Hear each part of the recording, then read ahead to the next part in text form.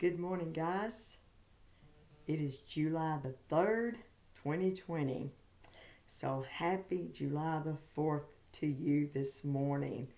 Tomorrow is July the 4th, but it is actually being observed today in a lot of businesses, banks, the post office, different things are being it's being observed today. So I just want to say happy 4th to you. If this is the first time you have ever watched me, my name is Sheila Textor. This is Sheila Textor's One Stop Coaching Channel, where every Wednesday and Friday I put out videos. Wednesday, I share my journey on writing my book, and I also share tips on writing.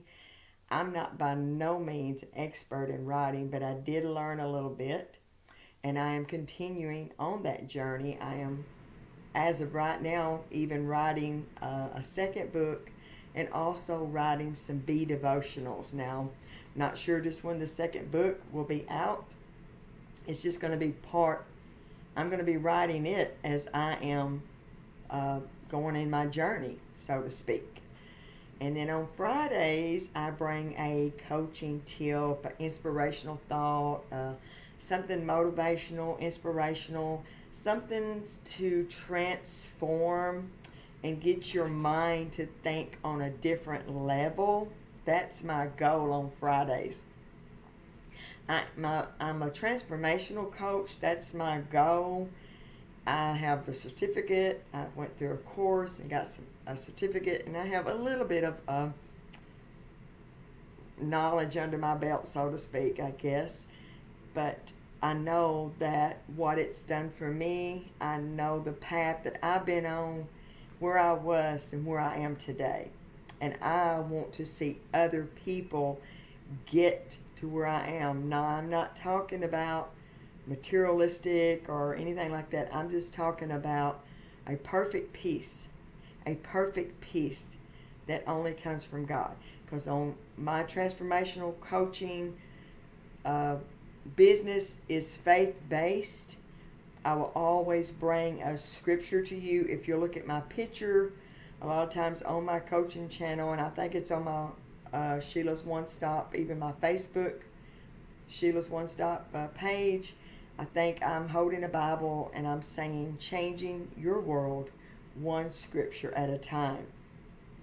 This morning, um, I've got a, a thought in, in, in my mind but before I go there, I just want to share just a little bit more of my goal as a coach. My goal is to help you find your purpose, help you find that drive, that sweet spot, that passion.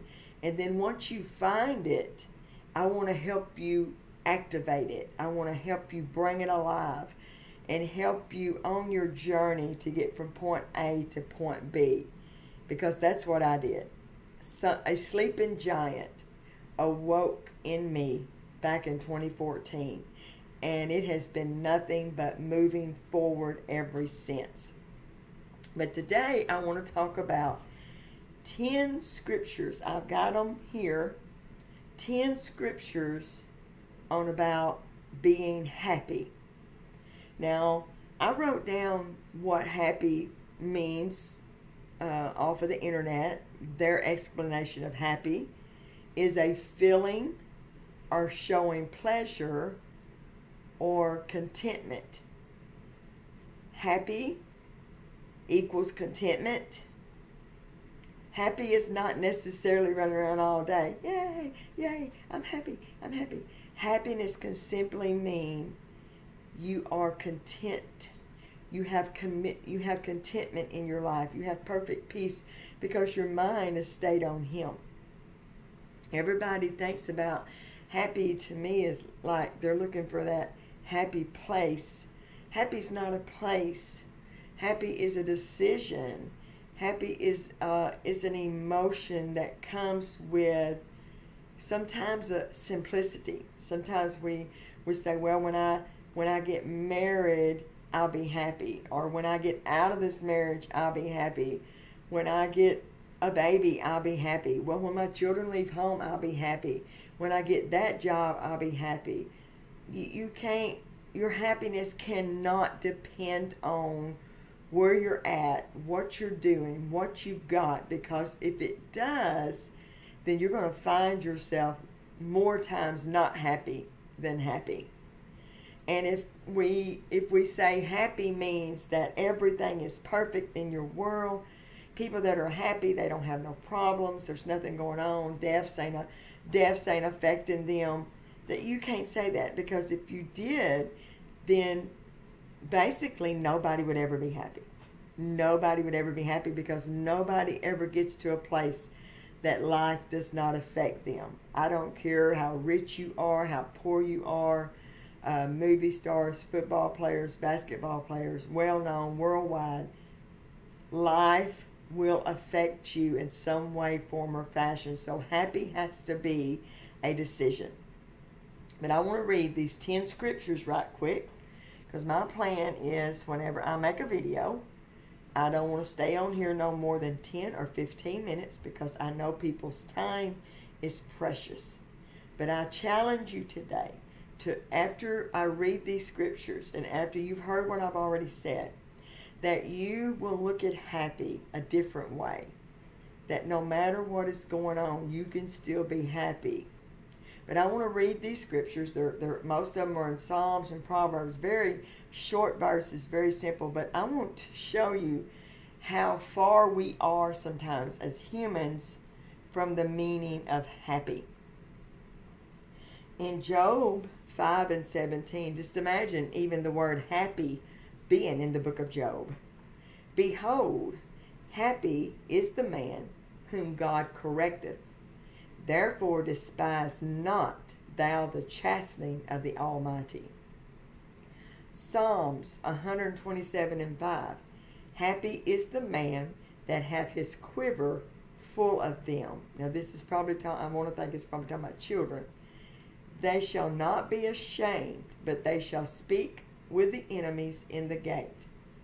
Psalms 144 and 15. I'm not going to try to explain each scripture because each scripture is probably took from a different context. But I'm just want to read them in this video today. Psalms 144 and 15. Happy is that people that in such a case, yea, happy is that people whose God is the Lord. Psalms 146 and 5. Happy is he that have the God of Jacob for his help, whose hope is in the Lord his God. Our happy is in our hope in the in the Lord. Proverbs 3 and 13. Happy is the man that findeth wisdom, and the man that getteth understanding. Get you some wisdom, get you some understanding, and you will see happy in a whole different way. Proverbs 14 and 21. He that despiseth his neighbor sinneth. I wonder how many today is despising their neighbors. But he that have mercy on the poor, happy is he. Proverbs 16 and 20. He that handleth a matter wisely shall find good. He that handleth a matter wisely shall find good. We could all learn from this scripture today with all that's going on on the media. And whoso trusteth in the Lord, happy is he. Proverbs 28 and 14. Happy is the man that feareth always, but he that hardeneth his heart shall fall into mischief. Proverbs 29 and 18. Where there is no vision, I love this one.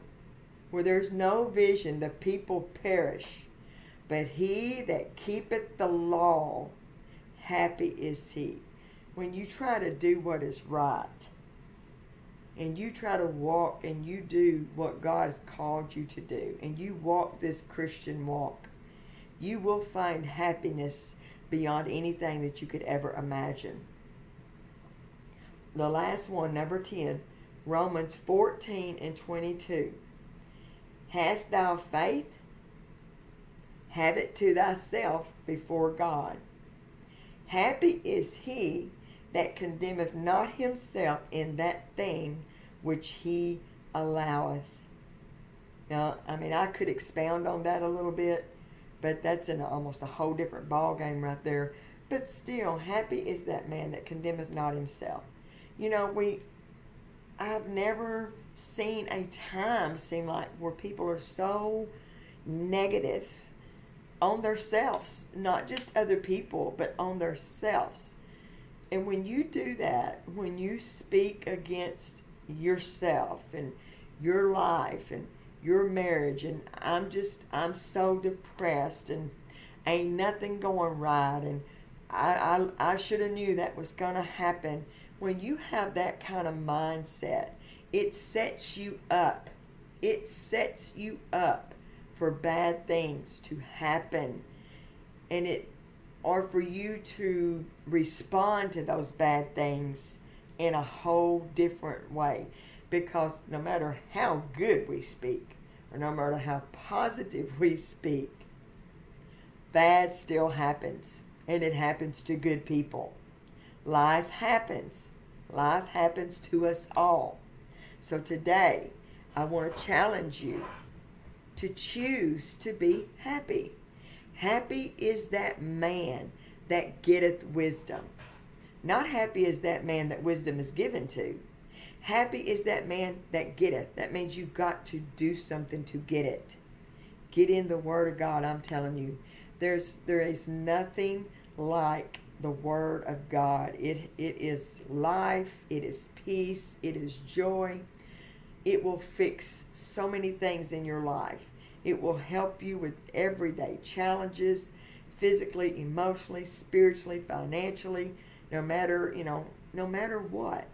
You can choose today to be happy because happy is a feeling or showing pleasure or contentment. We can we can have contentment through the word of God, through through God and be happy no matter what is going on in our lives. So I'm going to get off of here today. Thank you for being with me.